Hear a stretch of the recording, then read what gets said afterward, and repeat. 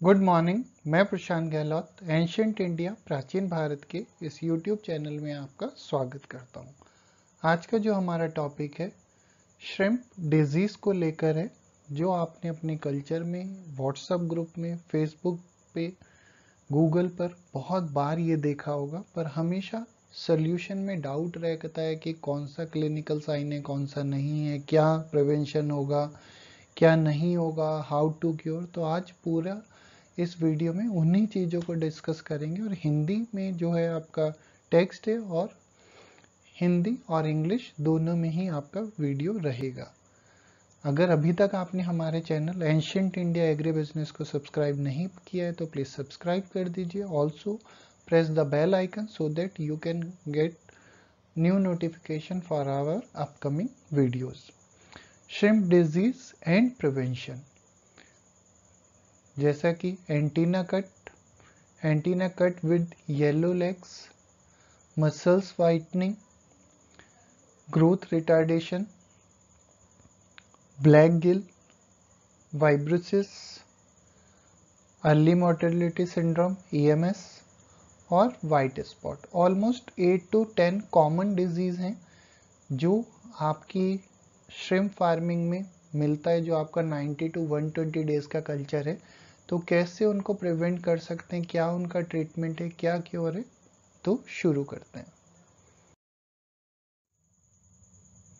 Common clinical sign of disease तो कैसे समझेंगे कि वो डिज़ीज़ ही है? रिड्यूस फ़ीड इनटेक जब आपका एनिमल फ़ीड लेना कम कर देगा तो जो भी आपकी फीडिंग चेक ट्रे है चेक ट्रे है, उनमें आप देखिए। एबनॉर्मल स्विमिंग अगर आपको, जब आप अपने पॉइंट पर, अपने फार्म पर विज़िट करेंगे तो कुछ भी ऐसा साइन आपको लगता है तो just notice this respiratory distress general weakness lethargy abnormal colouration of body and organs appearance of white और some other spots on the body तो ये कुछ कॉमन साइंस हैं कि जिनको देखकर फिजिकली एग्जामिन करके आप समझेंगे कि कुछ ना कुछ ठीक नहीं है और you can take some preventive measure common cause of disease disease जब भी हम लापरवाही करते हैं अपने कल्चर में जो भी हमारा शेड्यूल है, जो भी हमारा रूटीन है, जो भी वाटर पैरामीटर को फोकस करना है, जहाँ पे भी हम लैग करें, चाहे वो हमारा कार्प फ़िश का कल्चर हो कैट फ़िश का कल्चर हो नेचुरल पॉन्ड में, अर्दन पॉन्ड में सीमेंटेड टैंक में बायोफ्लॉक टैंक में, जब भी हम अपने शेड्यूल से 19-20 कुछ भी होते definitely we will face the issues improper assimilation rough and excessive handling over crowding excess feed abnormal environmental condition presence of toxic gases such as ammonia और hydrogen sulphide lack of sufficient nutrient तो जब भी आप अपने seed को stock कर रहे हैं तो आप अपना पीएच अपना टेम्परेचर और अपना सेलिनिटी तीनों पैरामीटर्स को देख के प्रॉपर एग्जामिन करके, तभी आप अपने पॉन्ड में नर्सरी टैंक में आप उसको स्टॉक करें। हैंडलिंग जो है, बहुत लंबा अगर है तो उसको प्रॉपर करें। Early morning, late night, late evening में ही आप स्टॉक करें। स्टॉकिंग सबसे बड़ा मुद्दा है कि 60 पीस पर क्यूबिक मीटर 120 पीस पर क्यूबिक मीटर 200 पीस पर क्यूबिक मीटर 500 पीस तो ओवर क्राउडिंग अगर आप कर रहे हैं तो उसके अगेंस्ट में एनवायरनमेंट भी आप उसको वैसा ही प्रोवाइड करें। आपका वाटर क्वालिटी हमेशा गुड हो एरिएशन की फैसिलिटी आपकी अच्छी हो। एक्सेस फ़ीड आप हमेशा कोई सा भी कल्चर कर रहे हैं फीडिंग ट्रे चेक ट्रे उसमें प्रॉपर हो आपका और हमेशा क्लोजली मॉनिटर करना है आपको फीड्स को लेके, क्योंकि आपका जो इनपुट कॉस्ट है 50 टू 70 परसेंट, वो फ़ीड पर होने वाला है। तो ज़्यादा देंगे तब भी आपका लॉस है और एनवायरमेंटल भी लॉस है। एब नॉर्मल एनवायरमेंट कंडीशन अगर हम अपना कोस्टल बेल्ट देखें तो वो हमारा मॉडरेट टेम्परेचर रहता है, वहाँ पे ये इश्यूज़ हमें नहीं आते। पर जब भी हम अपनी नॉर्दर्न बेल्ट की बात करते हैं तो हमें टेम्परेचर में वेरिएशन बहुत ज़्यादा मिलते हैं, उन कंडीशन को मेज़र करना है और स्पेशली आपका नर्सरी टैंक में। जो आपकी वाटर पैरामीटर की मॉनिटरिंग है, अगर वो आप अपना 24 फोर इंटू सेवन प्रॉपर रखते हैं तो डेफिनेटली कोई डिज़ीज़ आएगा ही नहीं। क्योंकि अगर एक बार आपका डिज़ीज़ आउटब्रेक हुआ तो डेफिनेटली कल्चर में लॉस होना ही होना है। Lack of sufficient nutrients. तो जब भी अगर आप अपना फ़ीड फॉर्मुलेशन कर रहे हैं, अपना फार्म मेड फ़ीड दे रहे हैं तो वो प्रॉपर आपका बैलेंस डाइट हो मिनिमम 35 से 40 परसेंट तक का उसमें प्रोटीन कंटेंट हो। कुछ आपने टर्म सुना होगा एसपीएफ और PCR SPF stands for specific pathogen free तो जब भी आपकी हैचरी से आपका सीड आएगा तो कुछ पैथोजेंस जो भी आपके बैक्टीरिया वायरल के करियर हैं उनके टेस्टिंग के साथ आएगा, डॉक्यूमेंट प्रॉपर आएँगे, जिससे आपको पता चलेगा कि जो आपका सीड है, उसमें कोई प्री डिज़ीज़ नहीं है। PCR PCR stands for polymerase chain reaction early pathogen detection is a crucial measure in preventing disease spread in shrimp aquaculture system and the D N A based polymerase chain reaction technique is widely used as a major diagnostic tool for shrimp pathogens. तो ये सब आपका बहुत scientific है और I think हमारे north India में कोई भी ऐसा प्राइवेट या गवर्नमेंट लैब नहीं है।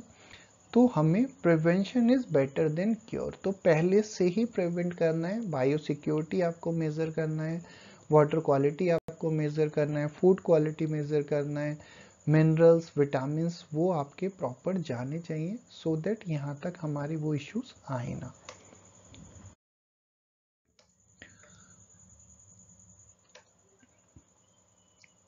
Abnormal condition swimming near the water surface जब भी आप अपने पॉन्ड में, अपने टैंक में देखेंगे तो जब भी वाटर सरफेस के पास होगा, अधिकतर अगर वाटर कंडीशन ऑप्टिमम है तो हमेशा आपका श्रिम्प और प्रॉन या तो कॉलम फीडर है आपका वो, या बॉटम फीडर है। तो उन्हीं दो सरफेस पे मिलेगा। जब भी आपको अपर सरफेस पे मिलता है तो कुछ ना कुछ इश्यूज़ हैं। ड्यू टू टॉक्सिक गैसेस हो सकता है ड्यू टू लेस डीओ हो सकता है। पॉसिबल रीजंस लो डीओ और how to diagnose test DO content of water तो आप जो भी आपका 24 फोर इंटू सेवन में वाटर क्वालिटी चेक है वो आप मेजर करें और उसी के अकॉर्डिंग आप करेक्टिव एक्शन लें। और उसी से जुड़ा हुआ आपका अर्ली मोर्टेलिटी सिंड्रोम है इन जनरल शुरू के 24 से 48 आवर्स में मास मोर्टेलिटी यूज़र को फार्मर को मिलता है।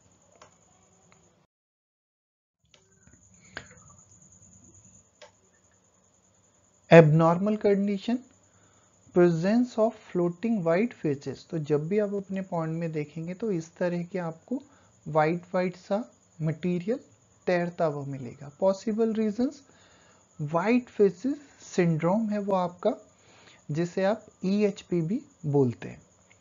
हाउ टू डायग्नोज डायग्नोज करने के लिए आपका विब्रियो काउंट है, जो आप वाटर का और पीसीआर बेस्ड डिटेक्शन है जिसमें आपका साइंटिफिक लैब में वो आपका होगा। विब्रियो काउंट आप अपने आप से कर सकते हैं। इजी मेथड है। इसी वीडियो के नेक्स्ट वीडियो में हम एक सेपरेट वीडियो उस पर बनाएँगे so that you can easily detect it but सबसे पहला प्राइमरी मोटो है कि आप अपनी वाटर क्वांटिटी को और एनवायरमेंटल कंडीशन को ओके रखिए।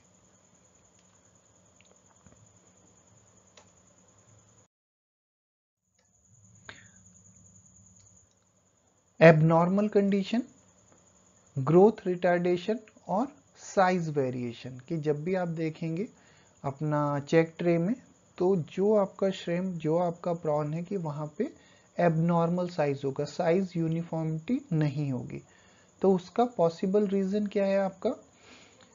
M B V E H P H P V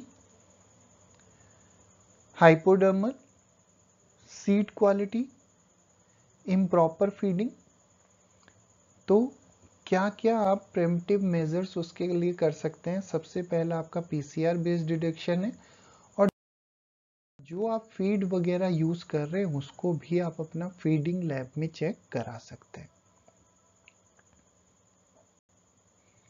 abnormal condition आपका रेड बॉडी कलरेशन तो हमेशा एग्जामिन करना है आपका वाइट लेग श्रिम्प है तो जब भी आपको कुछ एबनॉर्मल साइन उस पर मिले कलरेशन को लेके पॉसिबल रीजन आपका स्ट्रेस हो सकता है, जो फ़िज़िकल या आपके एनवायरमेंटल दोनों में हो सकता है डीओ की वजह से हो सकता है एक्सेस टेम्परेचर की वजह से हो सकता है सेलिनिटी के वेरिएशन की वजह से हो सकता है सिंड्रोम वायरसेस हो सकता है, जो आप टीएसवी के नाम से जिसको जानते हैं, और फ़ीड की वजह से भी हो सकता है इन्फेक्टेड फ़ीड या आपका फार्म पर काफ़ी दिनों का फ़ीड है तो हमेशा फ़ीड क्वालिटी को भी ऑब्ज़र्व करें और सबसे पहला आप अपनी वाटर क्वालिटी को ऑब्ज़र्व करें। पीसीआर बेस्ड डिटेक्शन है test total vibrio count of water और एनिमल और check the feed for moisture तो फंगल वगैरह, कुछ इन्फेक्शन वगैरह तो नहीं है तो वो चेक करें आप। तो सबसे पहले, सबसे मेजर आप वाटर क्वालिटी को अगर आप ऑप्टिमम रखेंगे तो कुछ ज़रूरत होगा ही नहीं। क्योंकि पीसीआर के बाद भी आपके पास कोई as such full proof solution नहीं है ओनली हार्वेस्ट बचता है या mass mortality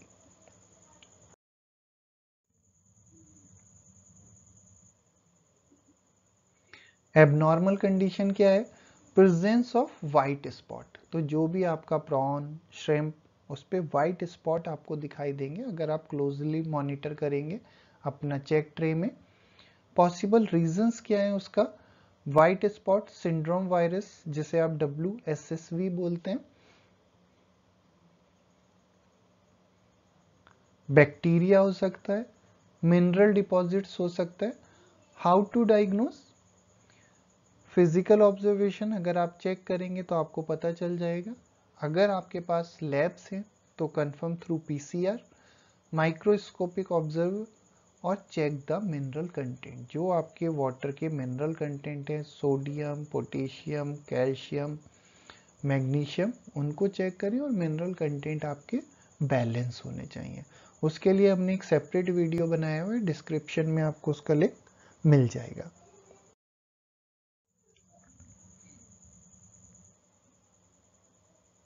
abnormal condition bent rostrum जो आगे का एंटीना है या जो बॉडी है आपकी वो बेंट मिलेगा, मुड़ावा मिलेगा। पॉसिबल रीजंस क्या है उसका? वायरल है आपका विब्रो हो सकता है। कैसे उसको डायग्नोस करेंगे? पीसीआर एक इकलौता है, या आप अपना वाटर क्वालिटी को मेंटेन रखें। एबनॉर्मल कंडीशन एंटीना कट, आगे के जो एंटीनाज होते हैं वो आपको ट्रिम मिलेंगे कट मिलेंगे। पॉसिबल्स रीजंस क्या है उसका? कि जो आपका विब्रियो है, उसकी वजह से हो सकता है। How to diagnose test total vibrio count of water और एनिमल ये एक सिंपल टेस्ट है जो आप अपने फार्म पर भी कर सकते हैं। एबनॉर्मल कंडीशन सॉफ्ट सेल तो ये मोल्टिंग के आसपास का, या मिनरल इम्बैलेंस का है। काफ़ी बार फार्मर्स फ्रेश वाटर में कल्चर करते हैं, वहाँ पे भी ये प्रॉब्लम आती है, और जो उनका सर्वाइवल है, वो भी काफ़ी कम मिलता है। Possibles reasons, lack of minerals, moulting, how to diagnose, determine mineral content, और चेक मोल्टिंग टाइम। तो जो भी आपकी फीडिंग टेबल जो भी आपकी मोल्टिंग टेबल है, आप उसको क्लोजली एग्जामिन करें और उसके अकॉर्डिंग आप अपने mineral content calcium sodium magnesium potassium उनका बैलेंस बना के रखें so that you can get the good survival also good health of your shrimp are से भी आप उसको काफ़ी बार लिंक करते हैं रनिंग मोर्टेलिटी सिंड्रोम तो ये कुछ क्लिनिकल साइन है और उसके अगेंस्ट में तो अल्टीमेट अगर आप वाटर क्वालिटी को मेंटेन रखते हैं, एक शेड्यूल प्रॉपर फॉलो करते हैं तो definitely prevention is better than cure abnormal condition whitening of the muscles और लैक ऑफ़ मिनरल्स इस तरह से आपको पीलापन वाइटनिंग सा दिखाई देगा। पॉसिबल रीजंस क्या है उसके? लो डिजोल्व ऑक्सीजन कैसे आप उसको प्रिवेंट करेंगे? टेस्ट डीओ कंटेंट तो डीओ से आपको पता चल जाएगा तो एट द एंड वही आता है कि अगर आपकी वाटर क्वालिटी ऑप्टिमम है तो सबसे पहले जब भी आप एक्वाकल्चर कर रहे हैं, किसी भी, चाहे fresh water saline water brackish water तो सबसे पहले अपने वाटर पैरामीटर को समझें। और अगर आपके आसपास में पीसीआर बेस्ड डिटेक्शन लैब है तो आप वहाँ पे भी अपने एनिमल्स को ले जाके चेक करा सकते हैं।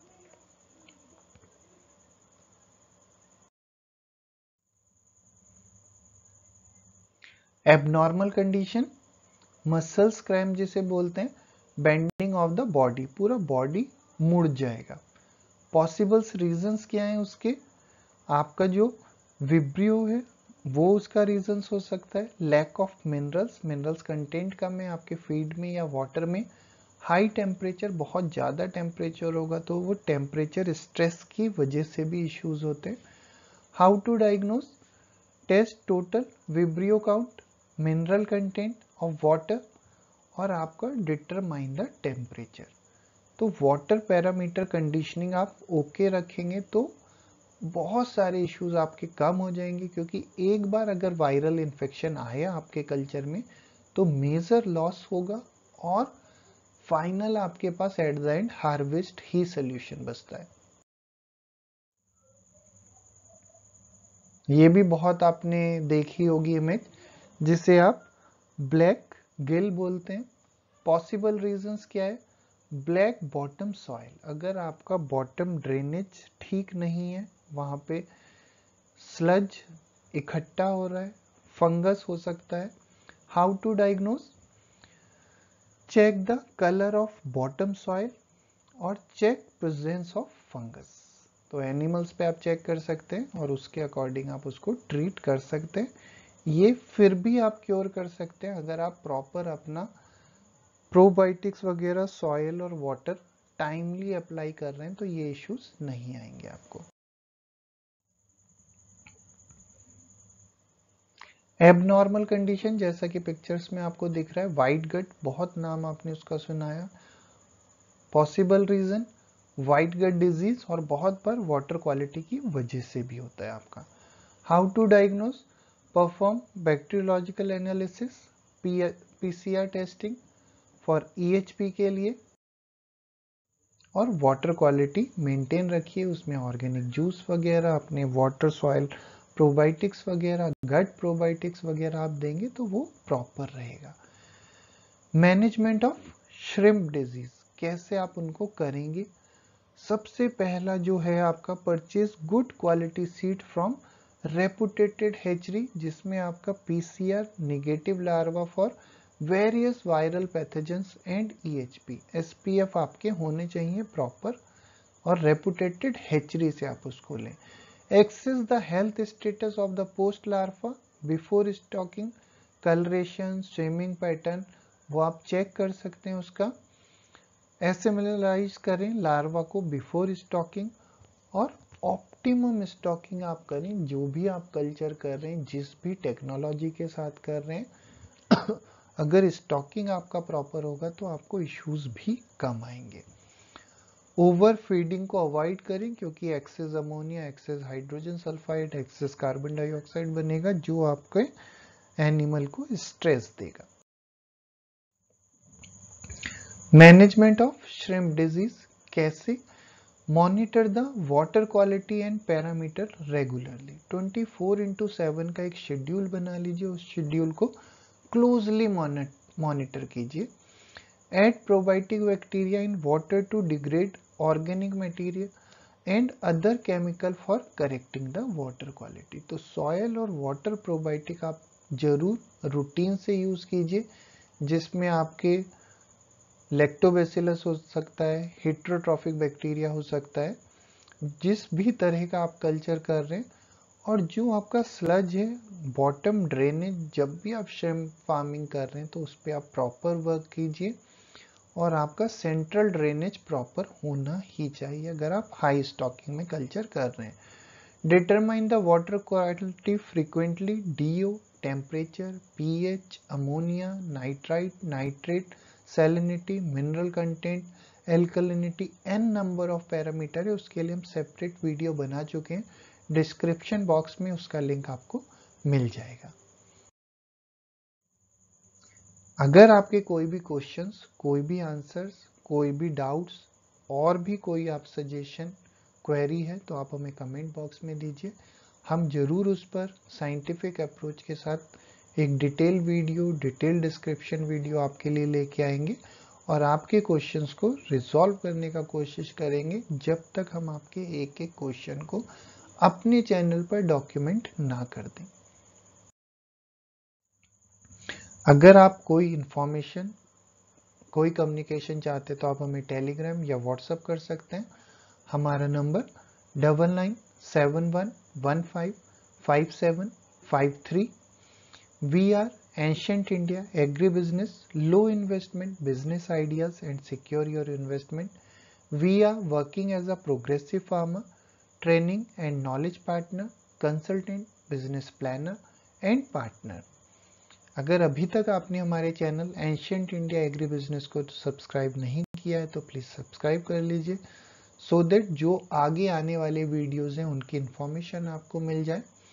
और जो हमारी ये इन्फॉर्मेशन हमने लिया है I C A R CIFA CIFE central institute of fisheries education Mumbai से, एकदम साइंटिफिक अप्रोच के साथ लिया है।